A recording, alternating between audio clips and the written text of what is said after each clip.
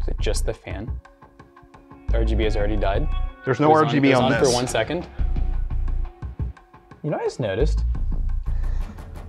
What is this push-pull oh, configuration? Oh, yeah, what is this?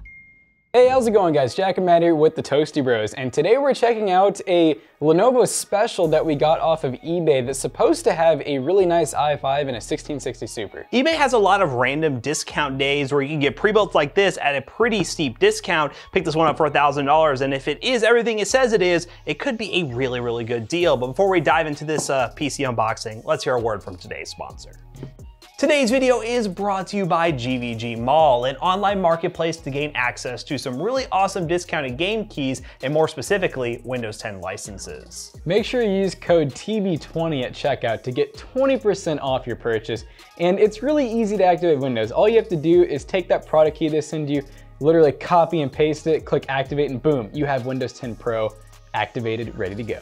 Link in the description down below will link you to Windows 10, use TB20, save some money, activate Windows. Don't let friends use unactivated Windows. It's not good. Don't let it happen. Goodbye. All right, have to get a big shout out to uh, Zach, which I don't think he's even here anymore. He actually does some hunting for stuff for PC Bros and stumbled across this deal um, and said, you know what, might as well do a video about it. So we pulled the trigger, we have it here, and of course, in traditional Toasty Bros fashion, we're just gonna unbox it, see what it looks like, look at the internals, the cable management, things like that, and then just do some testing. So yeah, got anything else to add? No. No. Let's open it. Let's open it. You know what? I'm gonna open it this time. No. Yeah. No. I don't want you to struggle with a heavy I don't know, it's been a while since you've opened something. Do you even know how anymore? I don't know what to do. Okay, so we're gonna open this thing up. Once again, this is an eBay special, and we are using the very appropriate knife for this unboxing. Um, the one thing is, we like to do these uh, pre-built videos where we look at the best pre-builts for certain prices from different websites. We've done eBay, we've done Amazon, we've done Newegg, uh, but the one thing we haven't done is taking a look at Lenovo pre-builts. We've done Lenovo laptops, but not their desktops. This is a Lenovo Legion, which should be coming with an i5 10400F and a 1660 Super, and at $1,000, given the current market, that's actually a pretty good deal. This thing is so dull. Why do you even use it? I, I try not It's, to. it's just pretty awful. Um, of course, so yeah. that's why we need the katana. So katana, guys, let us know down below if you still want a katana. Um, so we're gonna open this from the top here, and hopefully this thing isn't super heavy. I have a feeling it's gonna need to be done off the table. That's how I prefer it. Can we legally own a katana? Is that a thing? I don't know. Someone let us know down below. So this thing is, I think this is a refurb. I could be wrong. Let's look at this FedEx slip, see if it says anything. It's either refurb. Is it refurb? It's a manufacturer certified refurbished because it's not in any sort of original packaging. It's literally just wrapped in bubble wrap sitting in here. So um, as you can see, that's what we got. Lenovo. Lenovo. So we're going to lift this thing up. It has like a little handle right here. That's actually kind of convenient for this. Um, so here it is, the Lenovo Legion Tower. Um, it looks like we have a graphics card, so that's a good start. And it even has a sticker nice. on it that says refurbished. So yeah, it's refurbished. Um, so we'll go ahead and open this thing up. Actually, you know what? We gotta see what else is in the box. We can't dive into the computer just yet. Looks like we got a keyboard that's wrapped in bubble wrap. And then we have a mouse and power cord. So usual stuff. Everything else is just packing material. So nothing far from the traditional for a, uh, pre-built PC. It Still has the peel all over it. It does have the peel and everything, so good on Lenovo for doing that. So it looks like it comes off with these like standard PC case thumb screws. Doesn't have any sort of fancy way of coming off, so we're just gonna go ahead and unscrew these and slide off that side panel and reveal what, what looks like a pretty normal PC build. the weirdest side It panel is, it ever is very weird. Yeah, they didn't like paint the inside of it, so whatever. Um, so what we have right here is the i5 10400F. Looks like dual channel 16 gigs. We have a 256 gig SSD, and I believe a one terabyte hard drive, which is in one of these slots, not that one. bottom. This one will actually come out. Probably plugged in with SATA in the back of the Okay, it's in there, mm, trust me. We have an FSP power supply, which is a good brand choice. I really like that. And it looks like we have uh, 400 plus watts. gold too. So 400 watts, 80 plus gold, um, perfectly fine for this sort of build. You're not going to want to upgrade to a super high-end graphics card or anything, but it will do the job. Um, I do like the fact that this actually has good intake, sorta, not really. So it has like a little bit of a grill right here, so it's a little bit better than ones we've seen from Dell that are like totally closed off. The one thing I will have to test and see is if this i5 will be perfectly fine with this cooler. It is an i5, it is lower powering, and it, this looks very similar to like an Intel stock cooler. And we've done plenty of i5 10th engine builds with stock coolers and they work perfectly fine. So I imagine it's gonna be good, but um, yeah, 1660 Super, just the traditional OEM one, it's pretty small. Is this one that can actually, looks like it can take off the backside panel, but there really isn't yeah. a whole lot of room back you there. You also get Wi-Fi and Bluetooth with this, so, you know, I mean, that's pretty typical with any uh, pre-built from a, a, company like this. So that's always a nice feature to have. All right, so this coming off actually looks pretty that's nice. kind of cool. Yeah. So it looks like, I'm, I do not know if this Black is like a, cables, a USB pin, hub. Three pin RGB. Yeah, so there must be some sort of RGB in so here. That means you can actually like add, dude, do we gotta add an LED strip to this? We could, and if we have an RGB strip, we could slap oh, it in there. We'll yeah, just, we have some. So we'll, we'll power this on first and see what it looks like. If I can actually slide this side panel back on. You know what, we're leaving it off for now because it's just taking too long. I mean, how else are we gonna add the LEDs, Yeah, right? exactly. So um, we'll go ahead and plug this thing up and make sure it actually boots and see what that RGB looks like. There's no goes RGB on, on, on this. for one second. You know, I just noticed. What is this push-pull configuration? Oh, yeah, what is this? Okay, hold up. We have a little weird fan configuration here. So Is that for a reason? I have a feeling that was a mistake because I, I don't, uh, unless you know down below why this would be like a thing you would do, having an exhaust and an intake. Maybe we'll have to look at Lenovo's website and see if there's other, because I mean, you know, it could be a manufacturing thing where they found out airflow is better. That's where the, the RGB was on and then it turned off. So I'm Is it software controlled maybe? Maybe, I'm trying to find where that cable's going. So this is coming from the fan, I believe. It goes down, that's the Wi-Fi. I don't know, man. I don't see any cable coming from right here, so, and there's nothing actually plugged into the RGB hub, so I, I'm not sure. Like, unless this is it. a SATA? It's a very good question. This is the only thing with three pin that's actually plugged in, the SATA power is there, so I'm not sure. So what we're gonna do is probably just take a look at this a little bit more and then we'll come back to it. But um, yeah, so far first impressions, it looks okay, kind of weird about the fan configuration. That might just be a refurb defect issue. Um, that's why it was refurbed. That's why it was refurbed because of the fan configuration. But let's look at this real quick and then we'll come back to you.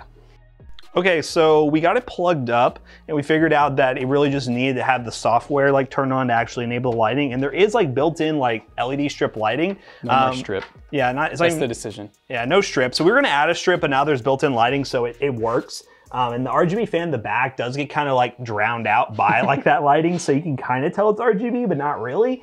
Um, and we're still not totally sure about this fan configuration. We're just gonna leave it as is because that's just how we got it, and we're gonna do testing that way. And if we feel like it's dumb, we might change it before we actually do something with this computer. But I would say for the most part, it's up and running. The RGB works, sorta, and uh, now it's just a matter of seeing if it can actually game. So let's do that. Let's do it. Alright guys, now that we have this Lenovo pre-built PC all booted up and ready to go, let's talk about a couple benchmarks real quick. So we decided to test this PC in a couple of titles, those being Call of Duty Cold War, Apex Legends, Forza Horizon 4, Borderlands 3, and Splitgate. First up in Call of Duty Cold War on a mixture of medium-high settings at 1080p, we averaged about 80 to 100 FPS.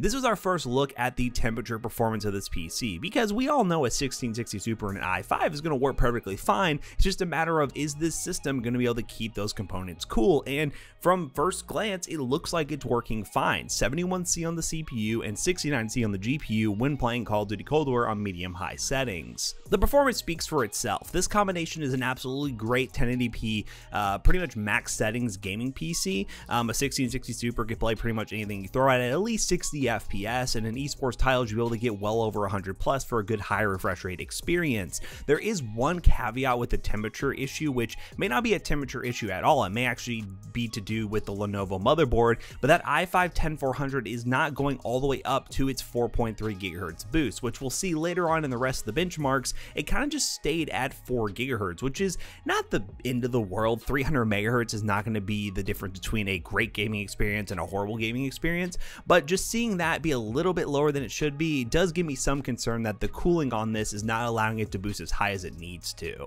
Next up in Apex Legends on max settings at 1080p, we averaged 100 plus FPS. The GPU did get a little bit hotter in this test. We were looking a little bit into the 73 degrees Celsius range, but that's well within normal operating temperature, especially for an OEM graphics card. That CPU was still running at 4 gigahertz, but once again, the, the performance difference between 4 and 4.3 is maybe a couple frames here and there in CPU dependent games, so it's nothing to really stress about. Next up in Forza Horizon 4 on ultra settings using the built-in benchmark, we averaged 113 FPS. Forza Horizon 4 is our built-in benchmark racing game of choice. If you guys have any suggestions for other games, let us know down below. We're always looking to update our benchmark rotation whenever we have new games we want to add.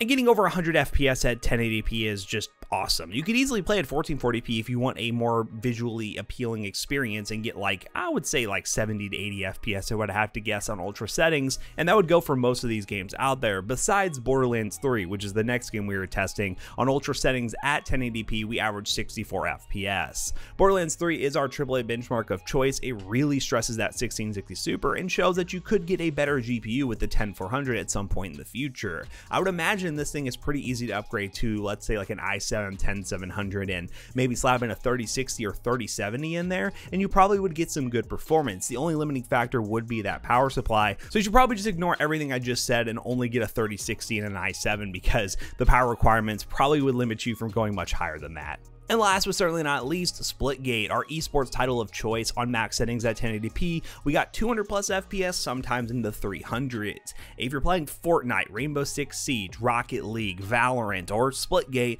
you'll have no problems having a great high refresh rate gaming experience with the i5 10400. 10 Gen Intel still has really good IPC, and I see no problems whatsoever with this thing running at 4 GHz and still getting very high frame rates for a very good competitive gaming experience. So in recap, I really think this is one of the best pre-builts on the market. We love the HP Pavilions because they deliver a lot of value for the money, but there are some concerns about cooling with those things. And also there's no RGB, it's just a constant green glow. These Lenovo's come with some RGB, they have pretty good thermals, and they do go on sale pretty regularly through programs like eBay or through Lenovo's websites. Now I can't guarantee you're gonna be able to find this thing at the exact price that we paid, but if you check the link in the description down below, it'll take you to eBay where we purchased it, and you could kind of keep an eye on these pre-builds, but I really think it's a good value if you could find one of these things, and if you can find one with slightly higher specs and the same just general case and configuration, I think it will run perfectly cool for most PC configurations. So now that we finished the benchmarking section of today's video, how to bring Jackson back in here to wrap this video up real quick.